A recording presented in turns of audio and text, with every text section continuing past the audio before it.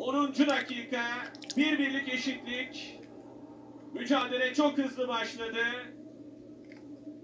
Orada sevinen İshak var. Tekrar izleyeceğiz. Bu orta kafa vuruşu Orhan Ovacık'la direğe çarpan top. Nurullah'ın çabası